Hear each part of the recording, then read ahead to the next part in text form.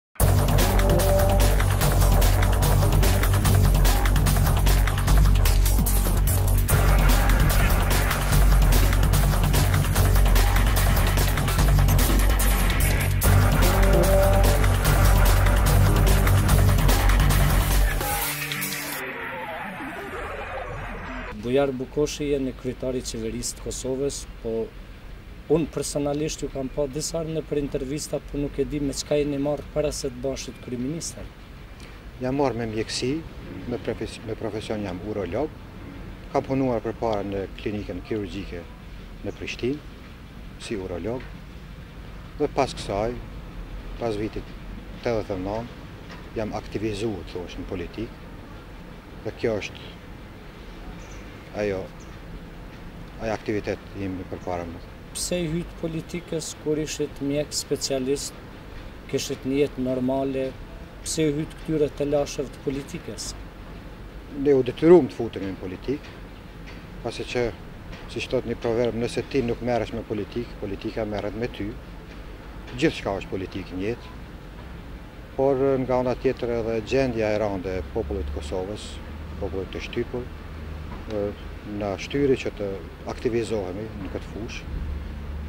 Një grup intelektualësh që i aktivizoi mekanizmat të them politike, një herë me para kësaj me të ashtuquajtun apel të intelektualëve, pastaj me formimin e partisë politike të Lidhjes Demokratike të Kosovës, e parti ma e madhe. ma masive. E përmendët apelin e intelektualëve, pse e nënshkruan aq pak intelektualë këtë apel ku bënte thirrje që ajo copë autonomie të mos zhdukej? Si si e spjegon këtë?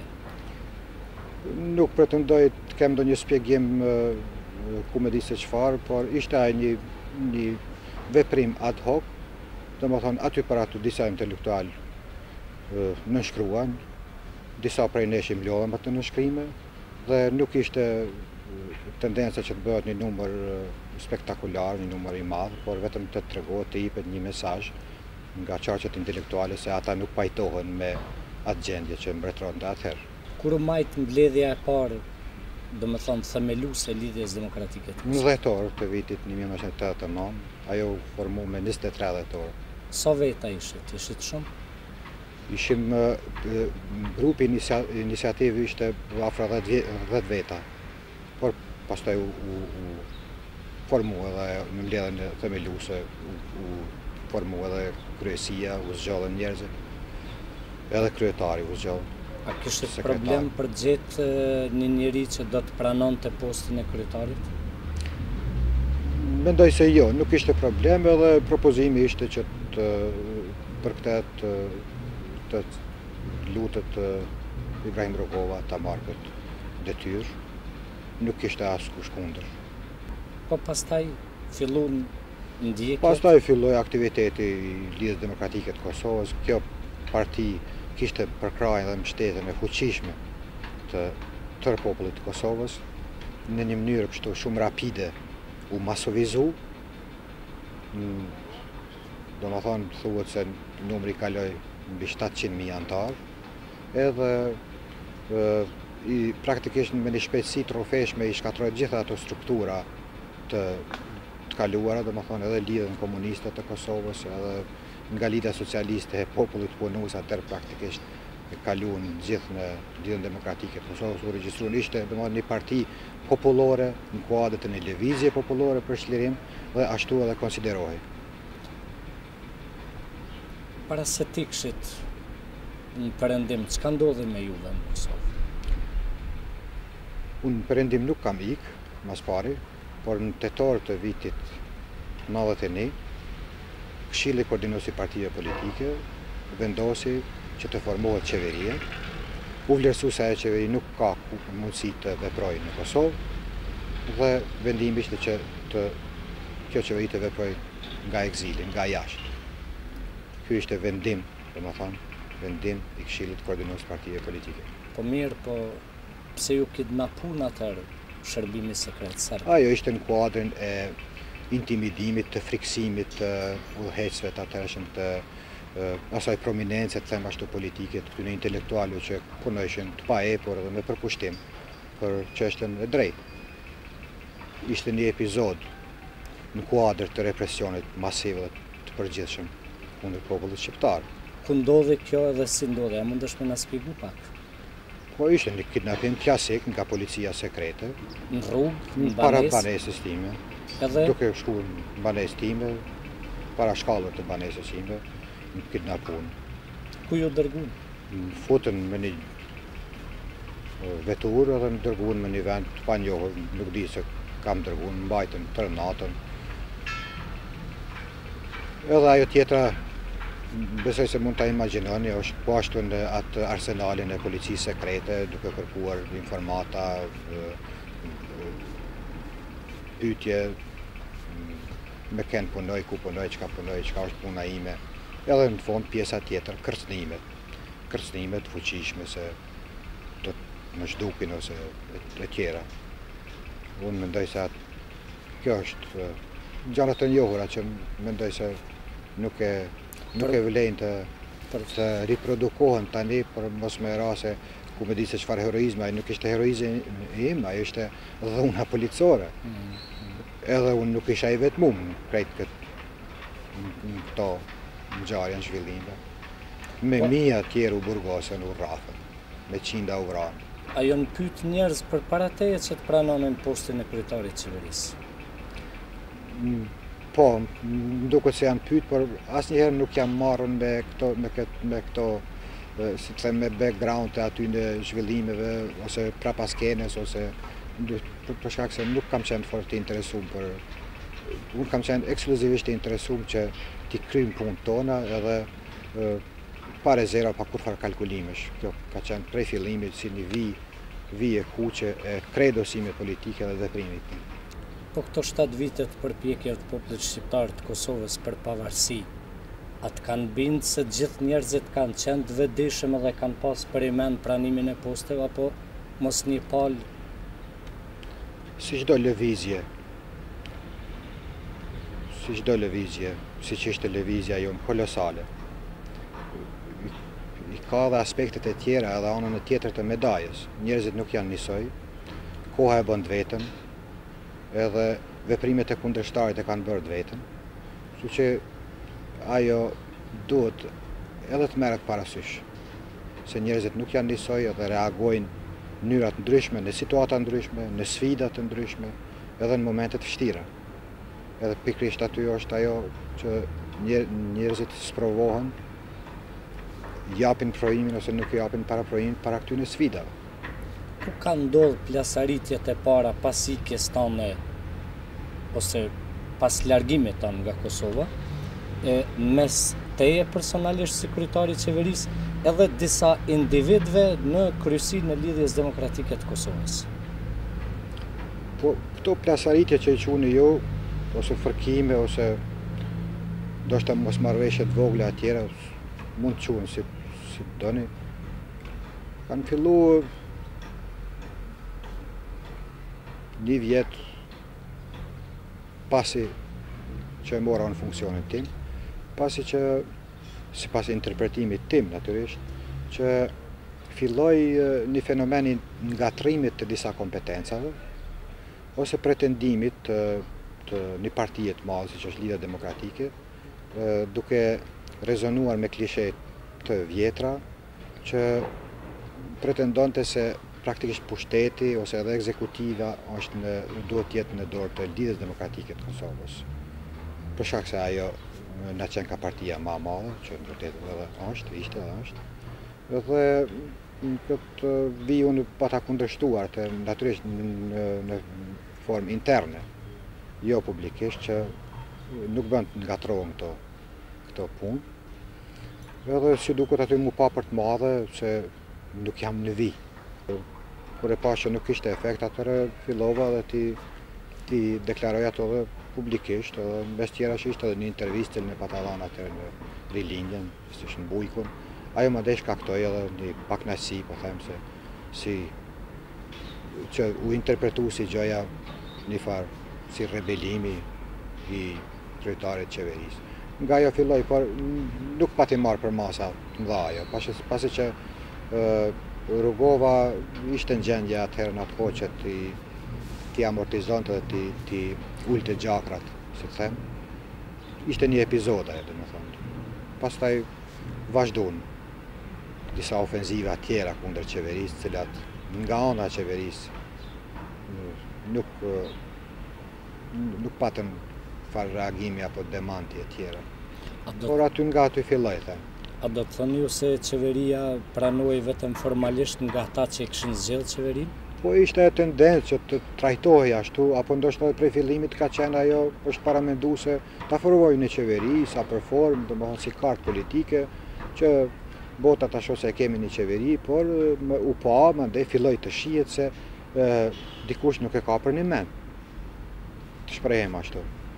Edhe Kjo u ndesh natyrisht menjëherë me, me parimet e mia dhe me vendosmërinë time që masi i kemi hy kësaj pune duhet ta çojmë deri në fund me të gjitha ato mundësi edhe atë potencial që e kemi. Edhe aty ishte, domethënë, po tham një, një fërkim. Domethënë me këtë duhet të them se gjithçka ka filluar gradualisht, nuk ka pas asnjëherë deri sot një ekla, domethënë një disens ose një plasje ose një ndeshje në mes të qeverisë ose Lidhjes Demokratike të Kosovës ose politikës edhe ekzekutivës, asnjëherë. Por kjo ka shkuar me një formë latente, me një, me një formë të larvuar, edhe bilen ndonjëherë mendoj se më mirë do të ishte ndoshta kishte me qenë sikur të sikur të kishte një një ndeshje më të mirë. Kështu, edhe të që të sqaro të uleshim edhe të sqaronim gjërat edhe që ta ta ta krijonim një unitet vërtet, jo unitet rrejsh. Po thoni një ndeshje më e mirë, po nga ana juaj nëpër gjitha deklaratat shihet se ju Keni dalë në fushën e mejdanit? Jo, nuk është, nuk ishte, as nuk është koha që të, që të bëhet një fushë e mejdanit brenda shqiptare, e mendoj unë, por nga ana tjetër mendoj se nuk duhet të, të kultivohet një, po them një unitet i rrejshëm, sepse Ai unitet i rrejshëm i takon kategorisë së hipokrizisë politike, po edhe ka të bëjë me me etikë, me moral, prandaj ajo është e papranueshme në lëvizje të tilla të mëdha, po them, është gjë shumë luksoze për ne. A mendon ti se një krah politik në Kosovë, e ka përdorë qeverinë vetëm si një farë lloji ose ka tentu ta përdorë si një lloj porezniku, tagrambledhësi, mbledhe tre përqindshin, dërgona pare edhe natën e mirë. Po atë unë edhe kam thënë, dhe kam thënë në disa intervista, se ishte ai trendi, domethënë tendencë, dikuj, a, a me qëllim, a pa qëllim, nuk do, nuk do kisha hy ma tutje, por sikur të redukohet funksioni i qeverisë në egzil në funksionin e qeverisë si si arkatar për shembull, domethënë ose që thoni ju tagrambledh, domethënë me mbledh të holla dhe me me dërgu të holla. Ajo natyrisht është një funksion shumë i rëndësishëm në këto rrethana tona, por me kaq nuk përfundon nuk përfundon puna e qeverisë edhe me kaq nuk përkufizohen kompetencat e qeverisë. Kam dëgjuar nga disa kanale, nga njerëz që kanë qenë bashkë me ju edhe me presidentin Rugova në vizita nëpër vende të ndryshme të Evropës Perëndimore dhe në Shtetet e Bashkuara të Amerikës fare në fillim se ju jeni paraqit ma radikal prej atyve edhe kjo është arsyeja që Rugova nuk ju ka marrë ma në delegacion. Pse jeni radikal? Varet çka kuptoni ju me radikal. Nëse ju me fjalën radikal kuptoni një fenomen se nëse ju tani ma grabitni, mi grabitni parat nga xhepi, paratë e mia, unë do të jem shumë radikal që t'i marr ato para prapë, se mu më takojnë mua. Domethënë, është fjala për të drejtën e dikuj. Nëse flitet se populli shqiptar po i kërkon drejtat e veta legjitime dhe është radikal pse po i kërkon, atër nuk, nuk, nuk është fjala për radikalizëm, atër ngatrrohen gjërat. Natyrisht se unë kam, jam mundu të jem ma i zëshëm, edhe shumë ma i zëshëm, që në kërkesat tona, edhe në bisedat me, me diplomatë, me shtetarë, me organizma të ndryshme, me përfaqësues të organizatave, qofshin qeveritare, joqeveritare, që në mënyrë të qartë, të thjeshtë, me, në formën se si funksionon logjika nga perspektiva e logjikës së perëndimit, të botës perëndimore, që të thuhet, të prezentohen problemet tona, kërkesat tona, po në formë shumë të qartë, pa ekvivoke, edhe pa kurrfarë figura stilistike. Kjo ndoshta edhe nga, nga background i profesionit tim, sepse në profesionin tim kirurgji nuk mundeni me qitë fall. Ju doni me konstatu diagnozën, me prezentu atë diagnozë edhe me kërku terapinë, domethënë mjekimin, si të mjekohet pacienti. Natyrisht nuk mund të krahasohen, nuk, nuk mund të identifikohen gjërat njësoj me këtë logjikë. Por kam kërkuar edhe edhe sot e kësaj dite unë flas me një gjuhë të qartë ose mundohem të flas me gjuhë të qartë që kërkesat tona edhe mesazhi i udhëheqësve tanë, pasi ne po pretendojmë se jemi udhëheqës edhe po po, po prezentojmë popullin, ose e kemi atë mandat që t'i prezentojmë dhe t'i realizojmë kërkesat e popullit tonë, atëherë duhet fol, duhet shkruar, duhet kërkuar qartë, pa ekvivoke. Ai mesazh duhet të jetë i qartë se bota bota nuk ta nuk ta merr mesazhin. Ai natyrisht nga ana tjetër mesazhi duhet të jetë edhe i fortë. Mesazhi duhet të të dihet edhe si të jepet, domethënë sipas gjitha kautelave që i kërkon perëndimi, këtu kam parasysh edhe masmediat, kam parasysh marketingun politik, e gjithë ata faktorë që, domethënë, që do të kërkonin kohë të, të numërohen, të Kjo është ajo, domethënë, është, ka, kemi të bëjmë me, me natyrën ose tipin e një njeriu, e, e njeriu është krijesë shumë e çuditshme, edhe ndryshojnë njerëzit mes veti, nuk ka të keqe në këtë, se dikush i thotë në mënyrë shumë të qetë, nëse doni zoti Rugova i prezenton gjërat në mënyrë shumë të qetë, me një, domethënë, me një flegmë, shumë kështu të respektushme, me këtë e ka, ka kriju edhe një imixh të caktum, si një politikan, i cili është i moderuar, por nga ana tjetër ka qenë në atë kohë një kombinim për të cilin edhe vetë Rugova, domethënë në biseda me te, thoshte se është mirë, se në kështu në mahi se mirë, mirë, mirë ti e ke bujar mirë, ti po e nxe, unë e ftof edhe aty dikun jemi. Domethënë, një farë si simbioza ashtu, për atë kohë ajo ka qenë simpatike, domethënë edhe e pranushme. por për një kohë, jo për deri në pafund. Po, pa, Unë pa, mundova ta shpjegoj po, këtë, domethënë, ish, ishte fjala te radikalizmi. Po, kur erdhi, kur erdhi momenti që ishte jo simpatike? Po, që ju ma nuk udhëtut bashkë. Është një proces i gjatë kjo që ka, ka kriju edhe rrethana të ndryshme. A është personalisht Rugova, apo njerëzit rreth Rugovës që krijunë këtë mur kinez në mes teje edhe Rugovës? Nuk S'ka mur kinez mes askujt, por ka diskomunikim. Po pse nuk komunikoni ju bashkë? Kryetari i qeverisë me kryetarin e Republikës. Ne kemi komuniku edhe në një mënyrë komunikohet, po jo në mënyrën e duhur, edhe unë kam thënë edhe publikisht se ky komunikim nuk mjafton, ose është një, një diskomunikim i cili duhet korrigjuar dhe nuk ka të keqen atë që kërkohet ose identifikohet një problem.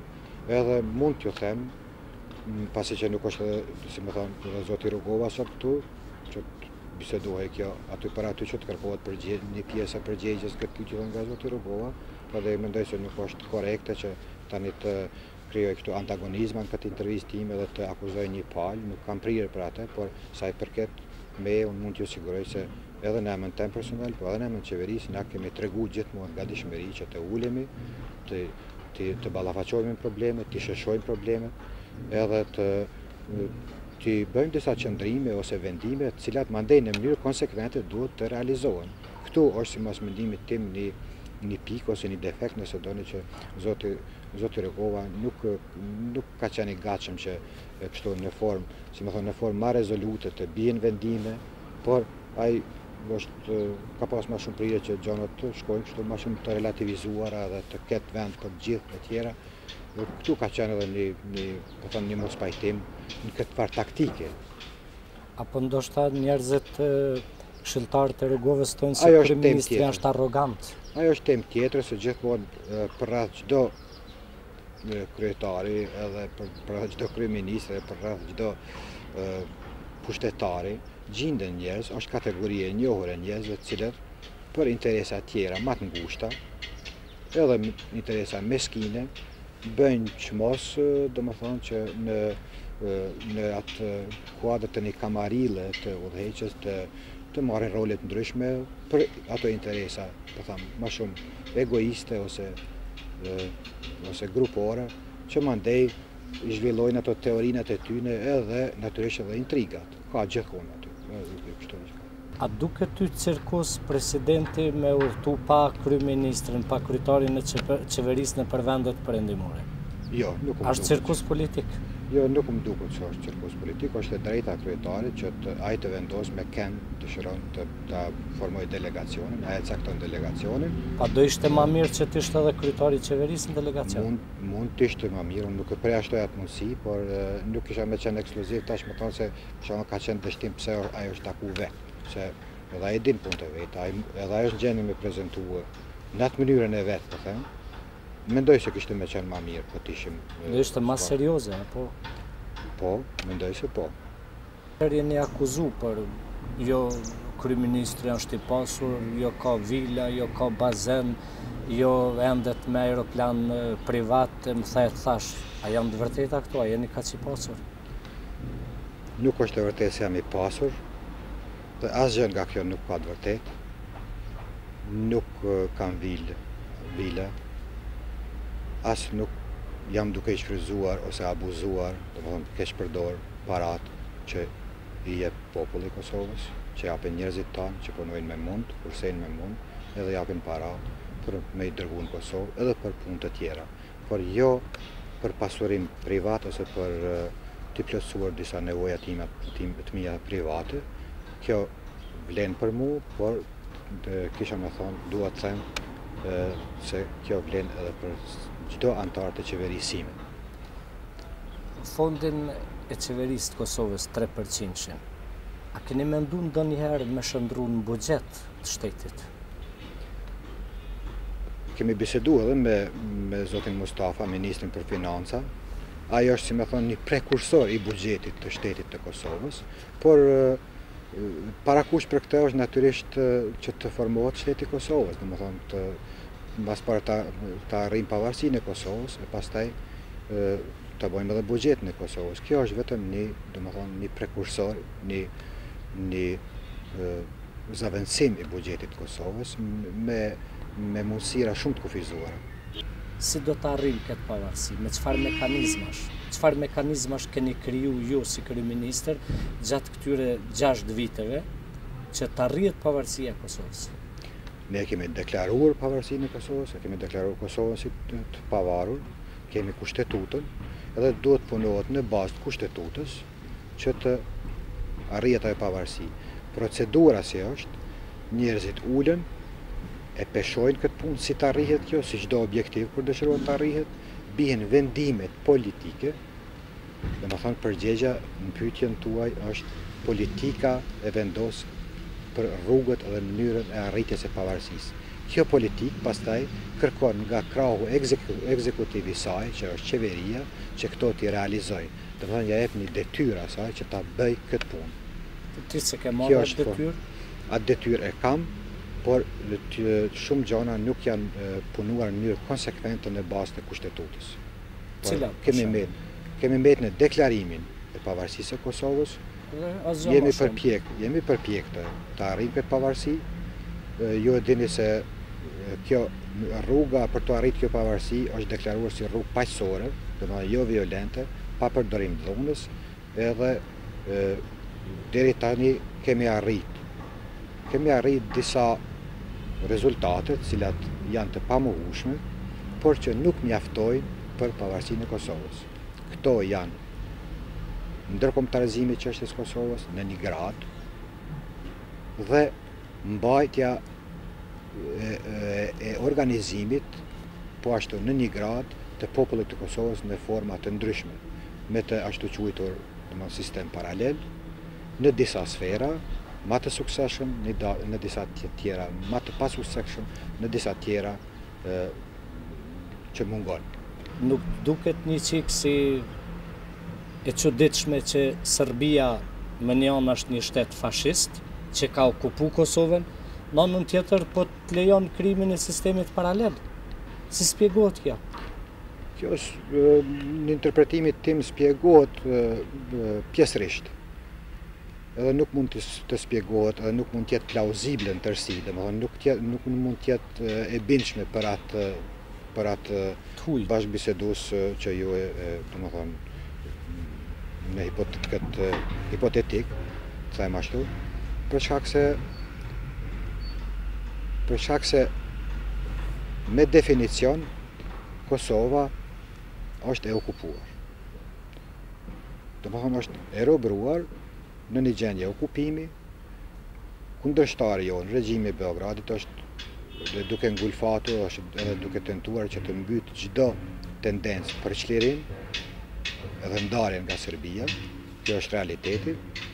Faktori shqiptar, domethënë shqiptarët e Kosovës nuk kanë mundësi mundësi që në mënyrë efektive t'i kundërvihen kësaj, nuk kemi ushtri, një ushtri të fort, nuk kemi armatim të fort, nuk kemi aleat të fort, domethënë, edhe kjo është ai, ai raporti, domethënë, raporti i forcave. Prandaj edhe shqiptarët, domethënë, e kanë vendos që në mënyrë paqësore të, të përpichen që duke sensibilizuar edhe opinionin ndërkombëtar edhe faktorin ndërkombëtar, domethënë shtetet e bashkësisë ndërkombëtare që janë me ndikim, që ato të ndërhyjnë, domethënë, të ndërhyjnë edhe të bëjnë presion në kundërshtarin tonë. Kjo është ajo skema.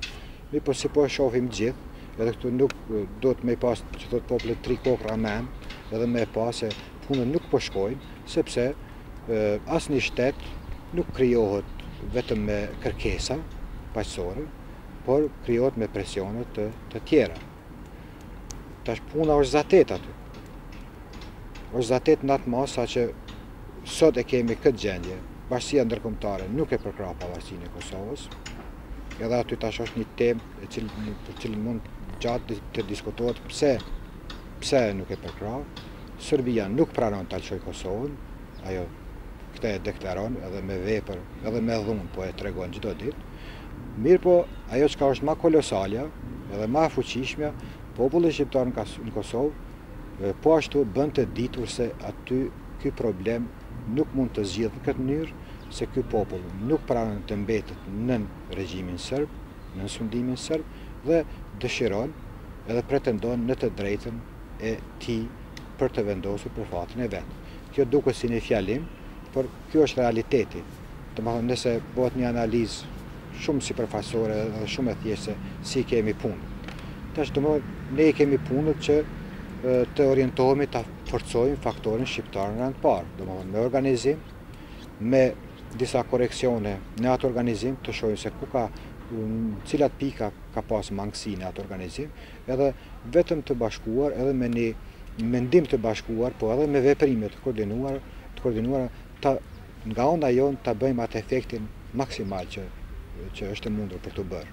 Në këtë mënyrë ne do të jepnim mesazh shumë ma të, ma të fuqishëm edhe qarqeve, fuqive të mëdha, të them ashtu, në rend të parë Shteteve të Bashkuara të Amerikës, se Kosova duhet zgjidhur në këtë mënyrë, duhet zgjidhur në bazë të vullnetit politik të shqiptarëve, të cilët e kanë e kanë artikuluar atë fare qartë.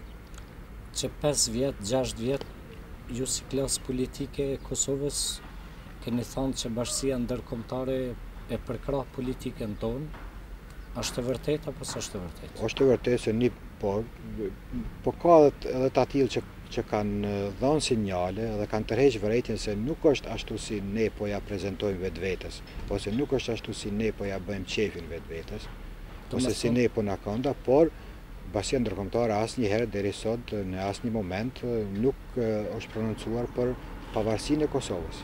Domethënë ata që e kanë deklaru këtë na kanë rrejtë? Unë nuk e kisha nuk, nuk e kisha formulu as pyetjen ashtu, po edhe përgjegja nuk mund të jepet në këtë frymë të pyetjes suaj. E kanë bërë po- një rrenë diplomatike të mençur. Jo primitive. Thuhet se, se edhe në politikë duhet me rrejtë. Se thuhet se në politikë rrehet. Deri në çfarë mase?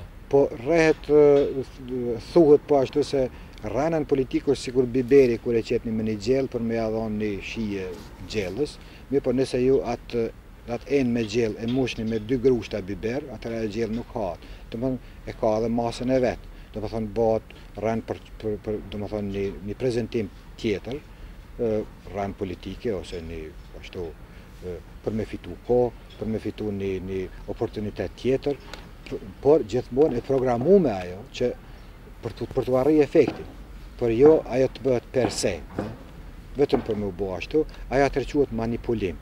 Manipulimi politik është i damshëm, edhe kthehet si bumerang, domethënë, ndëshkohet ai që e bën atë manipulim. A mendon ti se protestat e fundit të studentëve dhe në përgjithësi të shqiptarëve të Kosovës janë një farë lloj bumerangu në politikën shqiptare? Po, mendoj se po, se këto proteste po ashtu kanë qenë një leksion politikës shqiptare, klasës politike, udhëheqjes politike, establishmentit, po them politik, se ju e dini se nga natyra studentët janë kundër establishmentit, nga definicioni. Kjo Kjo ka qenë një një leksion edhe ë një mesazh shumë i fortë, një një mesazh i fortë që të mendohet edhe për këtë. Unë personalisht kam dëgjuar edhe deklaratën e presidentit Rugova, i cili ka bërë thirrje për shtyrjen e protestave të studentëve. Deklaratë e cila në opinion ka sjell dilema në opinionin mbarë shqiptar, dhe natyrisht Po të takosha me te do më interesonte të dija, në rast se presidenti ban thirrje për shtyrje dhe populli tregohet i padëgjushem, a do jetë ky i zoti të japë dorëheqje fill pas këtij mosdëgjimi të popullit? Ndërsa për ju si kryetar i qeverisë e kam këte pyetje, ju dolët në përkrahje të protestave, po çfarë mekanizmi mbrojtës keni për studentat e Kosovës? Ju e dini se unë, domethënë, për qeveri, publikisht i kam përkrahur dhe i kam mbështetur student, protestat e studentëve të Universitetit e Prishtinës. Ato protesta dhe e kanë meritu përkrahjen e gjithkujt, edhe fundi fundit ato edhe dhanë, domethënë, provë se janë të drejta edhe patën përkrahje. masive nga gjithë populli i Kosovës. Pyetjen që e shtruat ju nga domethënë me rezonim perëndimor natyrisht se në shtetet perëndimore dhe në shoqëritë perëndimore pushtetarët ose funksionarët të cilët domethënë të cilët duhet të tërheqin konsekvencat nga veprimet e tyre politike, ata edhe e bëjnë këtë punë. Unë ne jemi me një gjendje tjetër, mendoj se para fillimit, domethënë, fenomeni që para fillimit, para fillimit të protestave të studentëve, para një tetorit, dy ditë përpara, tri ditë përpara, domethënë fare, fare shkurt të, të krejohen ato hezitime edhe të jipen mesazhe të një mosuniteti rreth pozicionimit për këto protesta, mendoj se politikisht kanë qenë shumë të gabuara, kanë qenë të damshme edhe të palejushme. Nga ana tjetër, fakti që studentët nuk e ndëgjuan askënd edhe këto e dhanë atë at mesazh të fuqishëm, në rend të parë bashkësisë ndërkombëtare, ato ishin të adresuara në këtë adresë, tregojnë se edhe politika duhet të mendojë mirë edhe të përmblidhet, pasi që krijohen edhe asociacione në disa kohëra jo jo shumë të të hershme, t'ju përkujtoj edhe në të demonstratat e studentëve të tetëdhjetë e njëshit, të të vitit tetëdhjetë e një, kur ato karakterizoheshin e dim nga kush si kontrarevolucionare ose e tjera e tjera, se si, domethënë, kategorizoheshin studentët, edhe në në lëvizjet masive të studentëve, edhe të gjithë popullit të Kosovës në vitin 88-89, kush ishte ai që i që nuk pajtohej me këto protesta studentëve, edhe është mjaft, domethënë, mjaft për të menduar se si me atë klishe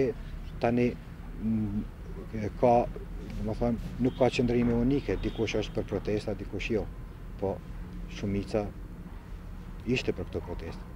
A mendon ti se ai hazi i krijuar në mes teje dhe presidentit i ka dhënë një farë mënyre forcë klanit politik të Kosovës para vitit nëntëdhjetë, që ta ndrrojë edhe një herë ta merr pushtetin në Kosovë? Nuk ka pushtet në Kosovë. Kosova është e okupuar. Askush nuk e ka pushtetin në Kosovë. Po që ta merr, ndoshta bashkësia ndërkombëtare dhe Serbia do gjejnë një zgjidhje, do e japin një copë autonomi. Jo, edhe, edhe në politikë, edhe në lëvizjet politike, atë hapësirë të cilën ti nuk e pushton, e pushton tjetri, ose krijohet vakuumi në të cilin livadhisin të tjerët. Kjo është postulat i vjetër në politikë. Por unë prapë po kthehem këtë leksionin e studentëve, të cilin ne duhet të nxjerrim mësim nga ky leksion. Ai është po ashtu edhe mesazh edhe kreut politik të Kosovës, po them edhe qeverisë pse jo, që ishte ai edhe një, një, një reagim që të përmblidhen edhe politika, domethënë, edhe paria, që diçka nuk është në rregull. Se një, një qëndrim, një politikë, me një pozicionim të, zmbraps, të, të zmbrapsjes absurde, nuk tolerohet. Edhe këtë e treguan studentët. Ata dolën, si me thënë, në skenë. A ishte një farë lloj gjynahu që për shembull udhëheqësi i studentëve i Unionit të Pavarur, Bujar Dugolli, të sillej para pozicionit që të prononcohej edhe të thoshte që kërkesat tona nuk do të ndalen me universitet po do vazhdojnë me pavarësi në vend që kjo pyetje t'i parashtruhej kryetarit të qeverisë dhe kryetarit të Republikës. Po në rend të parë kjo është punë të cilën do të duhej ta kryente politika. Mirëpo nga ana tjetër ne e dimë se Tani për tani studentët ishin të përqendruar në në kërkesa shumë specifike, domethënë ishte një temë specifike shkollat, e drejta elementare e nxënësve dhe studentëve shqiptarë për të mësuar në gjuhën e tyre amtare. Nga ana tjetër, studentët po ashtu si pjesë e shoqërisë kanë të drejtë edhe kjo ngjan që të involvohen edhe në rrjedhat e asaj shoqërie, domethënë edhe të determinojnë disa disa kahje të atij zhvillimi. Domethënë, ne nuk mund ta përjashtojmë dhe nuk mund të parashohim se nesër pasnesër, edhe nëse zgjidhet, domethënë me fat puna e shkollave, po ata studentë do të bëjnë kërkesa të natyrës tjetër, domethënë kërkesa që që të solidarizohen edhe me po po e zëmë me minatorë.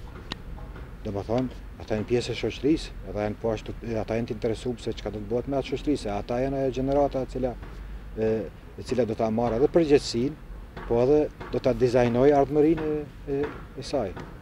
Tani po afrohemi tek dhjetori, ku është muaj i fundit, afati i fundit për mbajtjen e zgjedhjeve të lira në Kosovë.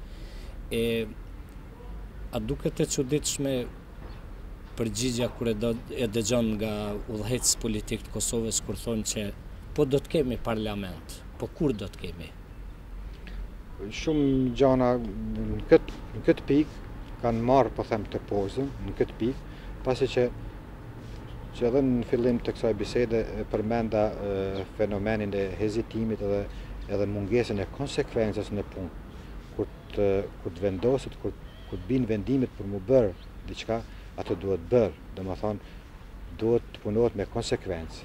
Nëse është rasti i kundërt, atëherë do të dështojnë shumë gjëra dhe do ta marrin teposhtën. Në këtë kontekst është edhe fenomeni i mbledhjes parlamentit, që nuk u mblodh me vite, fenomeni i marginalizimit edhe obstruksionit të qeverisë të Republikës Kosovës, një krijim i një, i një lloj amullije atje, domethënë një farë zmbrapsje edhe, edhe pasivizimit të jetës politike në Kosovë, për cilën gjë edhe studentët mes tjera, domethënë, patën si pretekst të, të veprojnë, ashtu si veprun, edhe puna e zgjedhjeve, që janë të paralajmruara deri në fund këtij viti, domethënë deri në Krishtlindje. nuk ka ende asgja indikative aty se është tu u punu në at drejtim. Domethënë, është një fenomen i shtyrjes, unë deri sot nuk shoh përpjekje që të organizohen ato zgjedhje, ato ai fundi i dhjetorit do të vi, sa ora, edhe ne do të gjindemi para një akti të krym, kur të themi jo s'kan qenë rrethanat, jo mos ta provokojmë situatën, e tjera formulime, formulime për mu idiotike, domethënë, kërkim të preteksteve. A do ishte ma mirë të mos mbaheshin fare në qoftë se deputetët e ardhshëm mendojnë përsëri të mos e mbledhin parlamentin? Jo, ato u duhsh, u desht të mbaheshin shumë ma heret. Për shkak një testimi politik? Jo, se aty është, shpëtimi jonë është vetëm në formimin edhe forcimin e institucioneve. Ne nuk mund të fitojmë me një bajraktar ose me një kryetar të fisit pavarësinë e Kosovës. Edhe ti mendon se zgjedhjet e lira edhe ju si kryeministër ose do t'ju shpallshin legjitim ose jo legjitim apo jo? Për mua është plotësisht irelevante se domethënë çështja personale, domethënë çështja e emrave edhe mbiemrave kush do të jetë ku. nuk nuk nuk luan kurrfarë roli. Ne kemi kërkuar edhe përpara dy herë zyrtarisht me letra që të lirohet qeveria që është në ekzil, të lirohet të formohet qeveri tjetër, se nuk as as një nga ne nuk kemi pas as pretendime, as interesim që ta ta bëjmë një karrierë si qeveritar. Por kemi kërkuar që të bëhet n'këtë drejtim diçka ose të formohet qeveria atje. Po për mu formu ajo qeveri, domethënë duhet të formohet ma s'pari të, të mblidhet parlamenti, të bjen vendime, që ai parlamenti të bjen të vendime. Ju, t'ju përkujtoj se janë bo, ka shumë diskutime dhe shumë debate janë bërë në këtë temë, por ato vetëm kanë kanë mbetë debatime edhe, edhe fjalë shterë, por pasi që deri me ditën e sotit ne nuk e kemi as parlamentin, as qeverinë në Kosovë. Po, njerëzit po thojnë, lehtë e ka kryeministri prej Evrope me na dhan leksione politike. Çka do thoshe ti? Po varet kush si i merr gjërat, për shembull, mund mund të merret se edhe e ka lehtë. Po, në, me një pikë se nuk i ka policët e Milosheviqit, për shembull, aty në Evropë. Mirëpo qeveria nuk ka dalë për qejf atje. Ka dalë me një detyrë e cila iu ka caktuar, domethënë është e mandatuar që edhe vendimi është për atë që ajo të të, të punojë nga jashtë. Kjo është një edhe e dyta qeveria ka qenë e gatshme të kthehet po ashtu në Kosovë kur të kërkohet nga ajo. kur të kërkohet nga instancat dhe nga institucionet që janë kompetente ta bien këtë vendim. Domethanë ti je i gatshëm me u kthy në Kosovë në qoftë se të bëhet thirrje? Po. Pa asnjë frikë? Pa asnjë hezitim. Aktualisht janë protestat e studentëve ato që e kanë nxe opinionin ndërkomtar, opinionin shqiptar, ti si i vlerëson këto protestat e studentëve? Unë i vlerësoj si shumë pozitive, për disa arsye, pa pretenduar që të bëj tash një analizë të thukët të këtij fenomeni, por mendoj se ato patën përkrahjen e fuqishme, ishin një zë i fuqishëm i studentëve drejtuar opinionit ndërkombëtar, bashkësisë ndërkombëtare se në Kosovë ekziston një popull i cili në fund të këtij mijëvjeçari lufton për të drejta më se elementare dhe legjitime për të drejtën për me u arsimu, me u shkollu në gjuhën amtare. Ishte po ashtu një opinion edhe një vrejtje bashkësisë ndërkombëtare se Kosova po ashtu mbetet si një problem, si një fuçi baroti e cila mund të aktivizohet në çdo moment pa fajin e shqiptarëve, Po ashtu ju bë vërejtja se për këtë gjendje të rëndë është përgjegjës regjimi kriminal fashist i Beogradit, i cili dhunon një popull mbase 2 milionësh për ideologji të tij mesjetare. Është një një një lëvizje, një fenomen që është në rrjedhat historike, jo ahistorike dhe është tregues i një, kjo këto protesta kanë treguar se studentët janë me të vërtetë në nivel shumë të lartë, janë të fortë, janë të vendosur dhe prezentojnë dhe i përfaqësojnë interesat e mirëfillta të popullit nga gjiri të cilit kanë dalë ata dhe po ashtu është edhe një zë, një, një vërejtje, një mesazh i fortë në formë të vërejtjes të faktorit politik në Kosovë, të kreut politik në Kosovë, që të mendohet dhe të të veprojë si duhet në këtë frymë. A mendon ti se këto protesta duhet të vazhdojnë? Po, unë mendoj se duhet të vazhdojnë.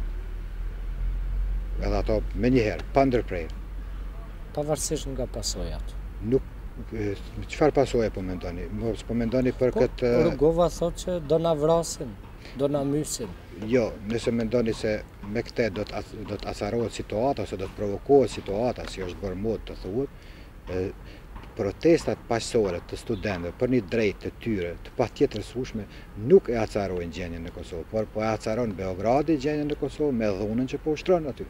Prandaj adresa për acaruesin Është regjimi kriminel i Beogradit, jo studentët. Dhe këto nuk ndalen edhe nuk duhet të ndalen këto protesta, se është drejtë e drejtë elementare e njohur e njohur me gjitha kartat ndërkombëtare dhe me konventat ndërkombëtare se çdo popull ka drejtë drejtë për këto kërkesa, por edhe ka drejtën e tubimit, që ju përkujtoj në deklaratën e përbashkët të Shteteve të Bashkuara të Amerikës edhe të Bashkësisë Evropiane në të cilën dënohet Ushtrimi i dhunës nga ana e policisë së Serbisë ndaj protestuesve, domethënë në Kosovë dhe kjo nuk tolerohet dhe kërkohet që të mundësohet e drejta e tubimit. Prandej kjo është po ashtu edhe edhe ky është një mesazh, të cilin tjetër është ne apo dojmë ta ta ta kapim këtë mesazh apo jo. Pavarësisht nga mesazhet, ne të gjithë e dimë se rrugë tjetër nuk ka përveç se ne të të luftojmë për drejtat tona. Tani për tani po luftojmë po bëjmë çmos që të luftojmë në mënyrë paqësore. Ne dhamë prova se në mënyrë civil, shumë mënyrë civilizuese dhe paqësore i bëmë këto protesta. Përgjegjja ishte dhunë e egër, e shfrenuar dhe barbare, natyrisht tjetër asgjë tjetër nuk u prit nga nga policia. e Serbisë. As studentët nuk kanë dalë me iluzione se duke dalë para duke u ballafaquar me policinë serbe se do do ta mëshirojnë ata t'ju lejojnë hapjen e, e universitetit. Por ky ishte mesazh bashkësisë ndërkombëtare. Prandaj e gjithë kjo e, praktikisht e hedh poshtë e, kategorikisht tezën se shqiptarët po acarojnë situatën. Lëvizja shqiptare në, në domethënë për ta pushtuar lirinë nuk është acarim i situatës. Edhe është interpretim idiotik të thuash se ne po acarojmë situatën. Shqiptarët nuk po acarojnë situatën. As Rugova nuk po thotë se shqiptarët po acarojnë situatën. Rugova ka hezitime se mos me këtë ndoshta po acarohet situata. Prandaj edhe kjo duhet të, duhet të, duhet të diskutuar, duhet të sillen argumente. Nëse thuhet se acarojmë situatën, ku janë argumentet se do të acarohet situata? A ju la përshtypje deklarata e fundit e State Departmentit amerikan ku thuhet se do të luftohet për zgjidhjen e çështjeve të Kosovës, jo çështjes të Kosovës. Po, më së pari të ju them se deklaratat nga qarqet diplomatike, këto janë deklaratat të diplomacisë të një shteti, në këtë rast të Shteteve të Bashkuara të Amerikës, ato janë deklarata të me, po ashtu me mesazhe të qarta, nga ana tjetër është gjithmonë ju përkujtoj faktorin shqiptar aty, domethënë, ne duhet shumë të kujdesemi edhe të, domethënë, të kujdesemi po ashtu edhe për reagimin e bashkësisë ndërkombëtare lidhur me atë reagim, me atë përkrahje. Ne duhet të mundohemi që edhe ata, domethënë, t'i bindim për problemin, ta informojmë për probleme të tjera. Ata janë, ata janë fare mirë të informuar se çka po ngjet në Kosovë dhe rreth Kosovës, por ne nuk duhet të harrojmë asnjëherë punën tonë që e kemi me pushtuar lirinë tonë. Kjo është e drejtë të cilën, të cilën as Shtetet e Bashkuara të Amerikës asnjëherë dhe në asnjë rast dhe kurrsesi nuk ia kanë mohu asnjë populli në këtë botë, e aq ma pak janë duke ua mohuar kosovarëve. Pasi që bile përkundra Aty ka edhe simpati se si ky popull deri tani ka qëndruar në këtë, domethënë me këtë, me këtë sjellje, me këtë qëndrim të tij, duke mos u përgjegj, mos u përgjegj dhunës me dhunë, por është është kjo edhe në politikën amerikane se edhe edhe niset nga vlerat universale të, domethënë të humanitetit që Çdo popull ka drejt të vendosë për fatin e vet. Çdo qytetar në këtë botë ka drejt të shprehë mendimin e tij. Qytetarët kanë drejt të tubohen. Qytetarët kanë drejt të shkollohen në gjuhën e tyre amnore. Prandaj nuk ka kurrfarë kolizioni kjo me thënë me politikën amerikane. Ne e kemi ekzagjeruar, kemi shku deri në absurd duke duke prit se çka çka po thotë amerikani, çka po thotë gjermani, çka po thotë italiani etj etj. Ne duhet shumë të kemi të të të kemi Të jemi shumë të vëmendshëm se çka po thotë, por nëse kalojmë në ekstremin tjetër se të të redukohet e tërë jeta jonë se çka po thotë politika ndërkombëtare ose diplomacia ndërkombëtare, ajo është tu punu punën e vet. Në fund i fundit qëndrimi i bashkësisë ndërkombëtare është që atje mos të ketë telashe, të zgjidhen problemet në mënyrë paqësore, për atë edhe ne jemi. por edhe bashkësia ndërkombëtare kërkon zgjidhjen më të lehtë që është. Ne duhet të jemi ata që ta bëjmë me dije se kjo zgjidhje, kjo paqë nuk arrihet në kurrizin e shqiptarëve, nuk arrihet në skllavërimin e shqiptarëve në në dhunimin e të drejtave të tyre. Me fjalë tjera, po du me thënë se çështja jonë është e drejtë. Edhe pasi është e drejtë, edhe deri sot nuk ka unë nuk kam pa asnjë argument që Nuk kanë të drejtë shqiptarët në këtë apo në atë, është puna jonë që këtë, këtë drejtë edhe ta realizojmë. Domethënë ekskluzivisht në rend të parë varet nga ne. A mund ësh me numru një ose dy argumente të cilat do ta bindin Sërbinë për me lëshu Kosovën?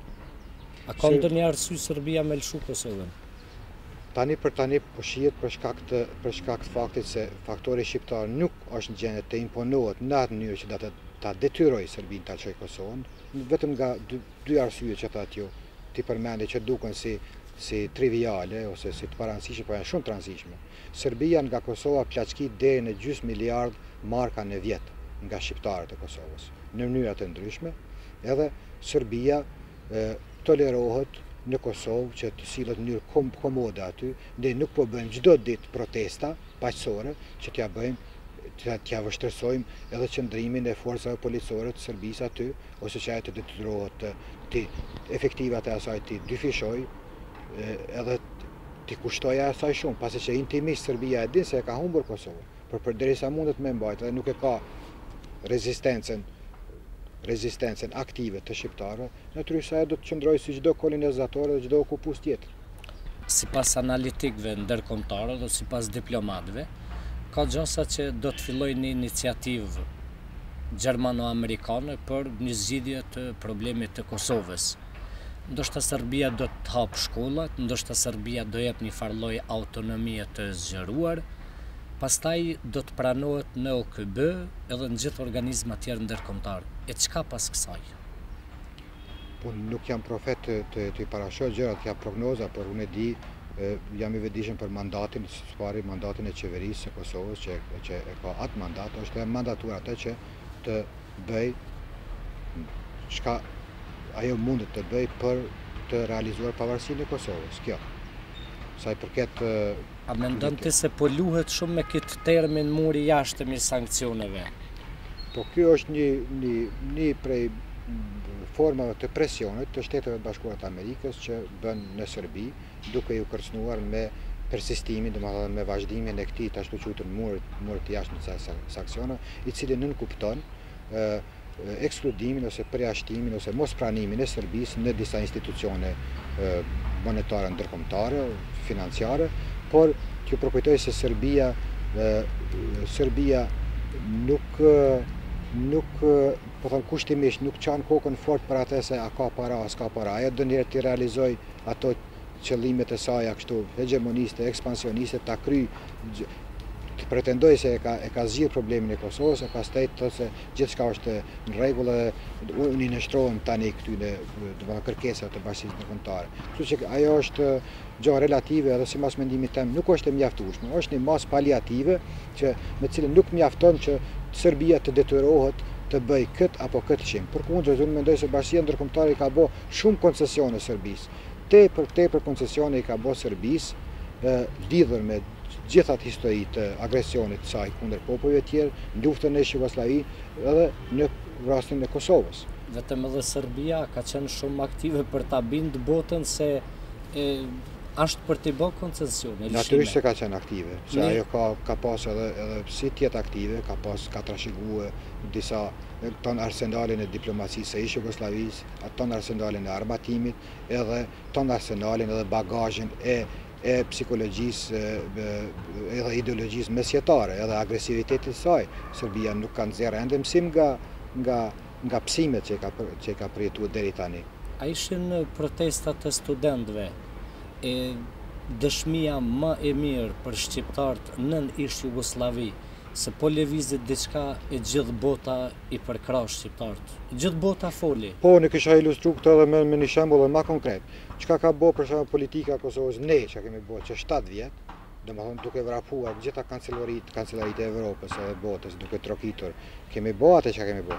Por mjaftoi një orë gjysë e një, një aktiviteti të fuqishëm të studentëve që i drejtuan si me thonë e fokusuan vëmendjen aty më gjitha gjitha agjencitë botërore refer lajmëronin, domethënë raportonin për për Kosovën, menjëherë Kosova u bë shumë e njohur, gjitha shtëpitë televizive, gazetarët e tjera, domethënë sensibilizimi u bë një sensibilizim i fuqishëm, pse?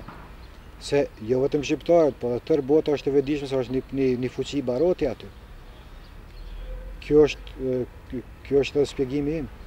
Domethënë ky unë po, po them prapë se prapë, kjo është Kosova nuk është më pas një tetorit Kosova është në një fazë tjetër të të zhvillimeve Domethënë si përfundim në gazetari thuhet një fotografi baraz me një mijë fjalë, ju do thoni një protestë në Prishtinë baraz me një mijë konferenca shtypi, apo jo? Po, prafërsisht ashtu.